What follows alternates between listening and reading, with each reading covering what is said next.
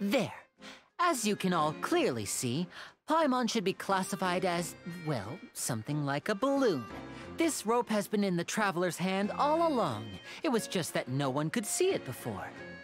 Huh? You call that magic? You've got to be joking.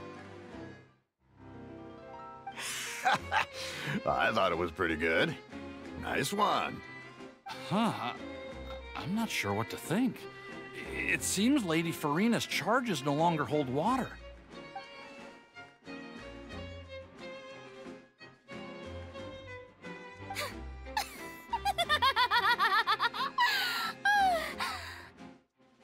Amusing. Very amusing, Minnie. Just the sort of unexpected twist that I enjoy. With you here, today's performance can finally be called complete. Performance? You see all this as a performance? In which case, consider the matter of your trial resolved. The god of justice will not bring charges against an innocent person. But when there are valid grounds, I will not only judge travelers from abroad, but even the gods of other lands. I look forward to seeing your upcoming performance at the Opera House, Mr. Lyney and Miss Lynette. That's enough for now. Toodaloo!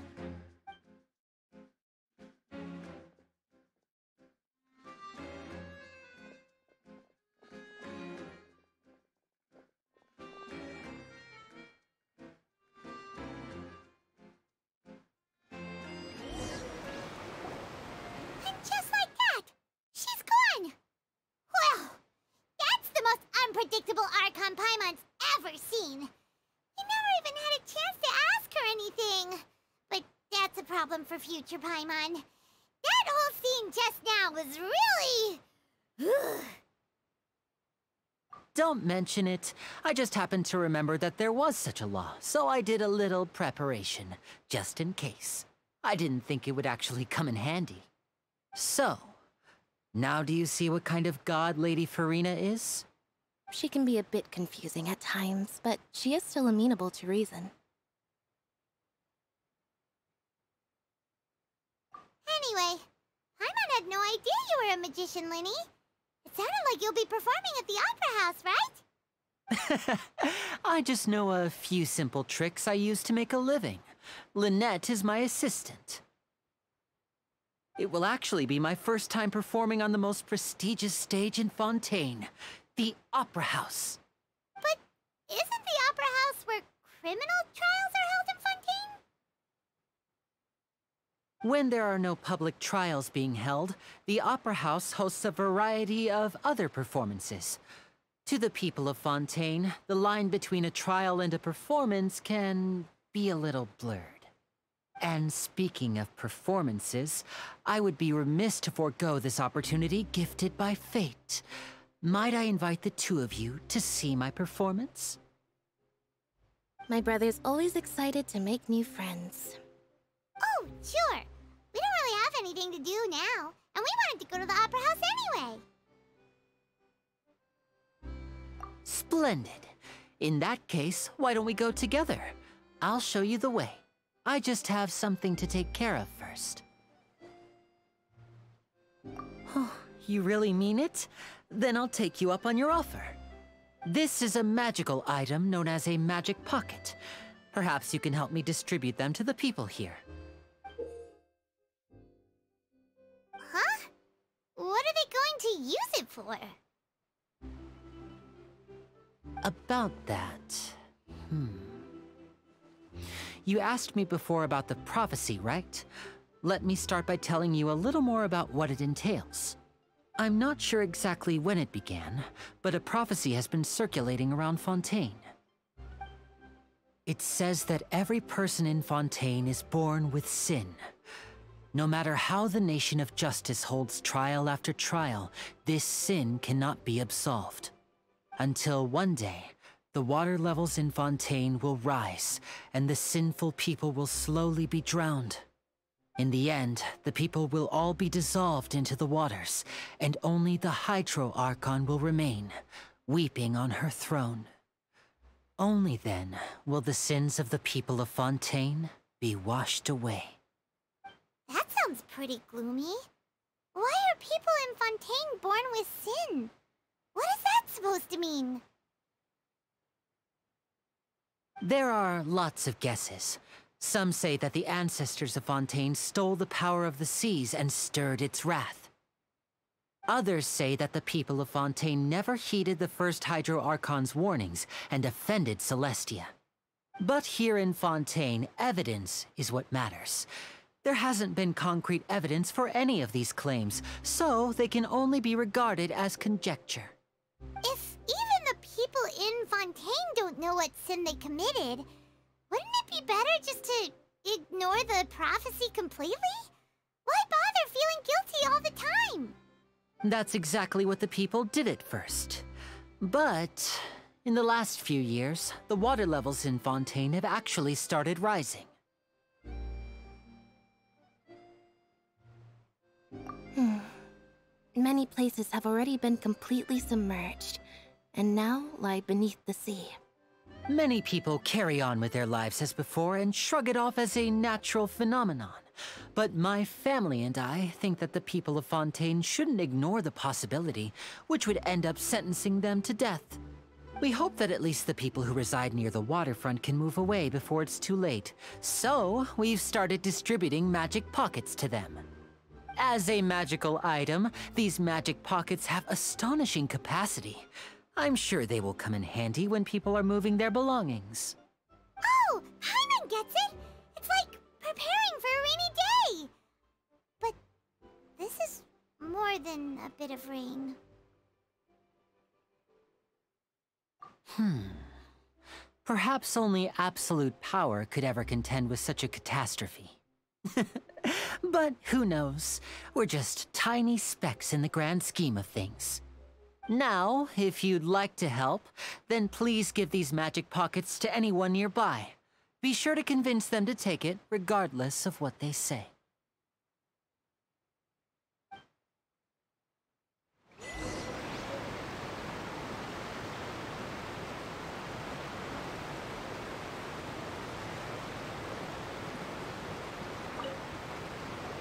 What's this?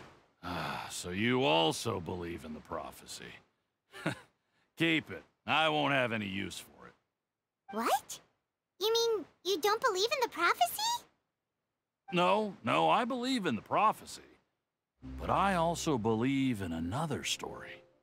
The story says that people once lived in the ocean. They were one with the ocean and couldn't live apart from it. But as time wore on, people desired to live on land and developed blood vessels, encapsulating the sea within their bodies. Thus could people set foot on land.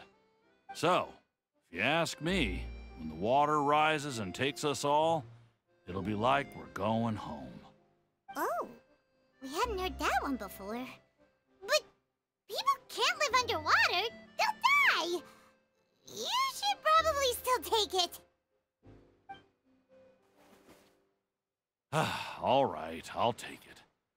I guess I just feel that being dissolved into the water doesn't necessarily mean death.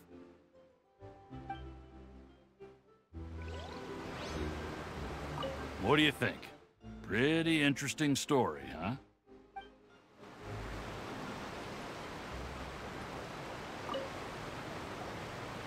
So you're the blonde traveler that everyone's been talking about.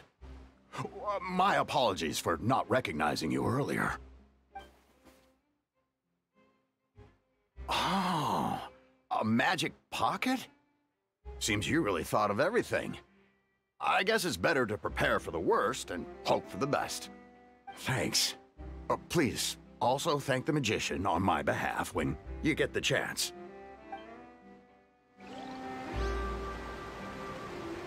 But where would I move to? Snezhnaya, Liyue.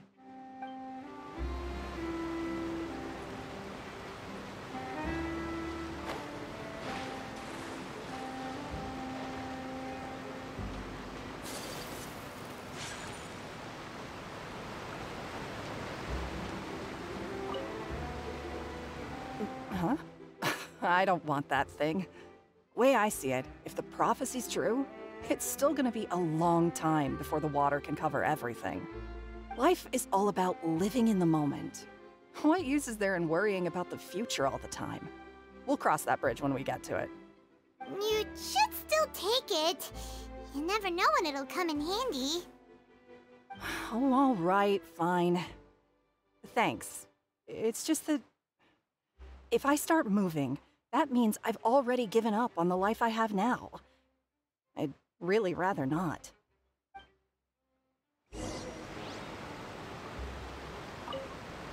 I really can't imagine what it would be like if things changed.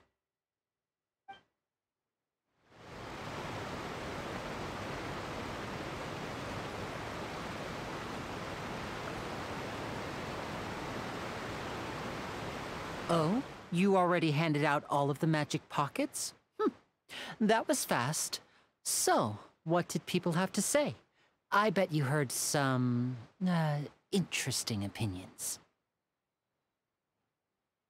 Yes, but that will change once disaster strikes. I know they'll change their minds, so it's only right to help them prepare. Is there anything else you need to do before we leave? Yes, one last thing. I have the magic pockets made by a workshop in the court of Fontaine. Since we're out and about, I was thinking about bringing him some more materials. So, you want to collect materials? Just tell us what the materials look like and we'll help. Many hands make light work. Oh, that would be much appreciated. We'll need some Romaritime flowers. I remember seeing them near the waterfront on the east side of the harbor.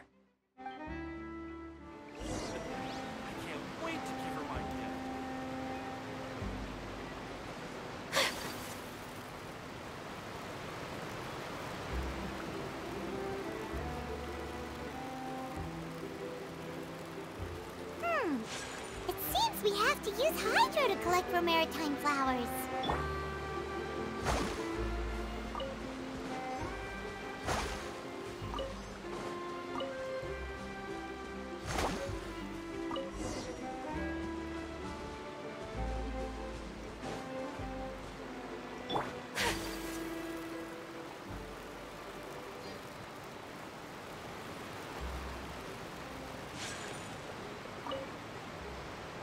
You made quick work of that. I can tell you're an experienced traveler. I've also finished collecting a few here. Maybe next time you'll feel like helping too, Lynette. No way. I'm in power saving mode today. Otherwise, I fear I may not have any energy left for the performance at the Opera House. Fine. Though the performance is still a long way off. Now that we're finished here, we should get ready to head back to the Court of Fontaine. So, we're going to the Court of Fontaine before we head to the Opera House? Good. Paimon wants a tour of Fontaine's largest city and try...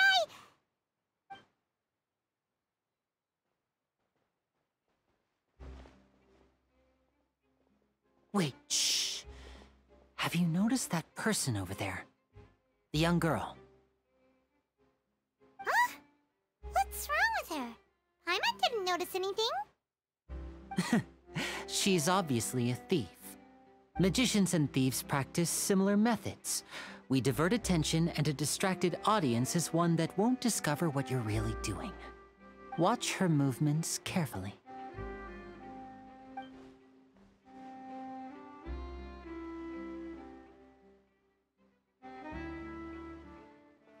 Oh, he's right! Shh, keep your voice down. We need to think of a way to catch her, but it seems she's very alert. Perhaps we should split up. You two can ride the lift over there and wait up top. I bet that'll be her escape route if she tries to run. All right, let's go.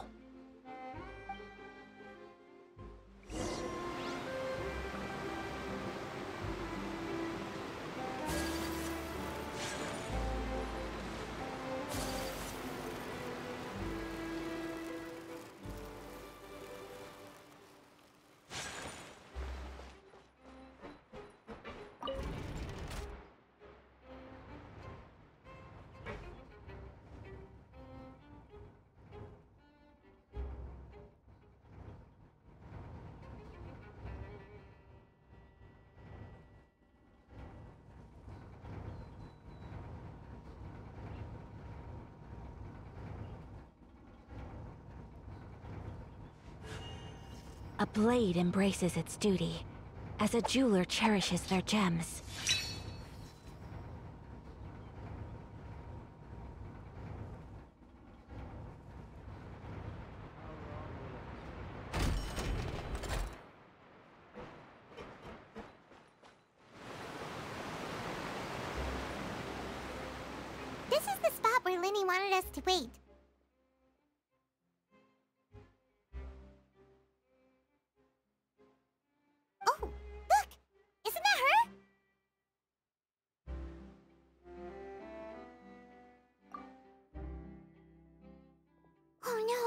Did she notice us?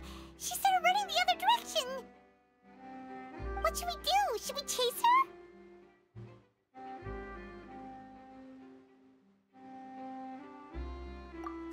You're right.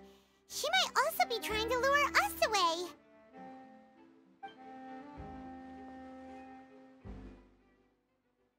Nothing's happened for a while now. Paimon wonders if Lyney caught the thief.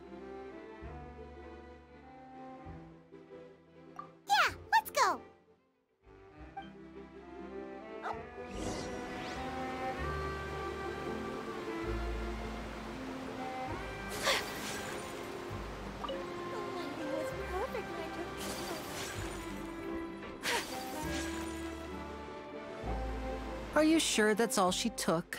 You should check to make sure you're not missing anything else.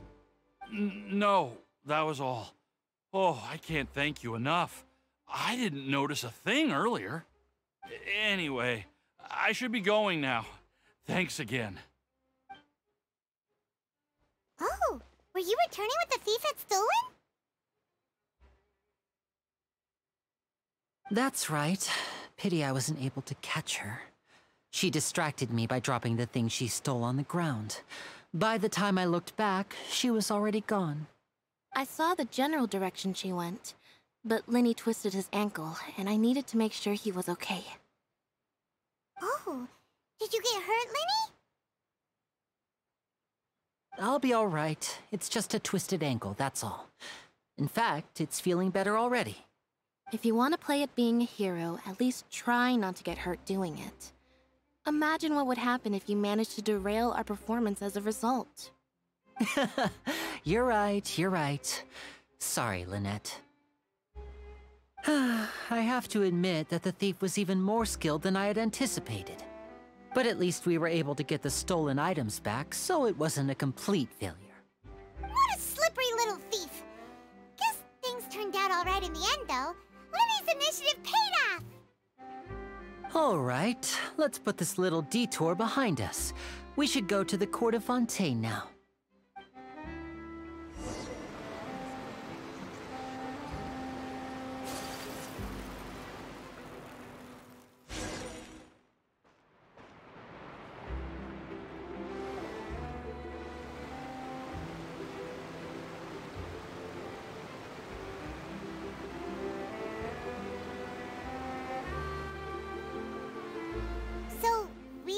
This thing to go into the city? What an ingenious way to get around! People in Fontaine really know how to use water! This is an aquabus. It allows people to travel between several key locations around Fontaine. It's pretty convenient, but the ride can become a little dull after a while. The scenery is always the same. That's why it's better to travel with friends. So you mean it's still boring even when I'm riding with you? Uh, no, that's not what I meant. It's just that, uh, well, you don't really talk that much. Besides, it doesn't really feel like a real trip when it's just the two of us. It's the same as being at home. Hmm. Whatever. Guess that's what it's like to be an older brother. it's about time for us to leave. Let's get on board.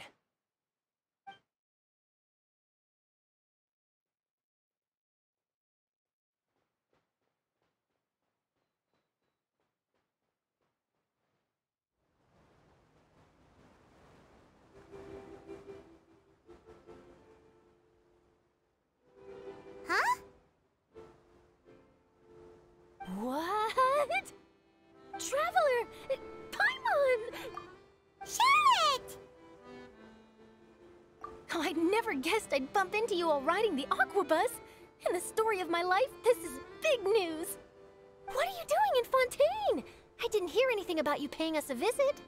Yeah, it's quite the coincidence. But as travelers, we're always on the move. It's not surprising that nobody knew we were coming. Uh though we still have no idea how the Hydro Archon knew about us. Oh, let Paimon introduce you to our new friends! Oh, no need for introductions, Paimon. I would recognize the great magician Lyney and his assistant Lynette anywhere. I wouldn't be much of a reporter if I didn't know who they were. It's a pleasure to meet you. I'm Charlotte, a reporter for the Steambird. Nice to meet you. From the Steambird, huh? We've often relied on your paper to promote our performances. It's an honor to meet you. now that everyone knows each other, Fontaine suddenly doesn't feel like such an unfamiliar place. So, what have you been up to lately, Charlotte? Any big news? Not too much. When there isn't any breaking news, I mainly cover the trials at the Opera House. You can still manage to keep readers' attention as long as you tell things from a clever enough angle, even if it's the same old topics. For example, reporting on how a scammer once deceived vulnerable girls into relationships, or how a financial criminal was once so poor that they ate a single piece of bread for five days.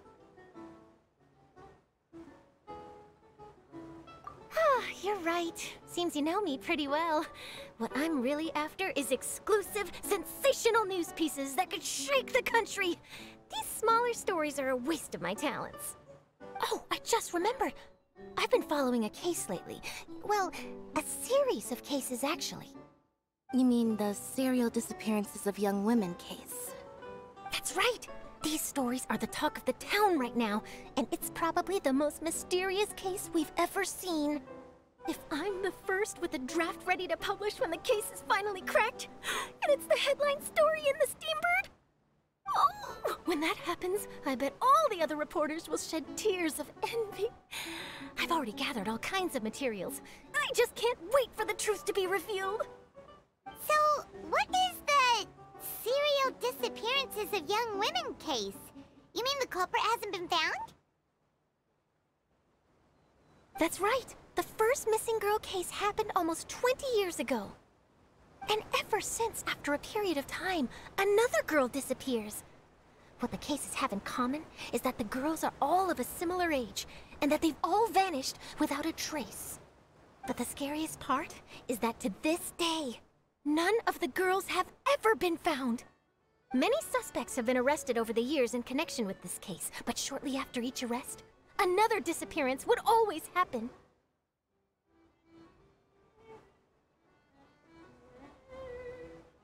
Yes, it's possible.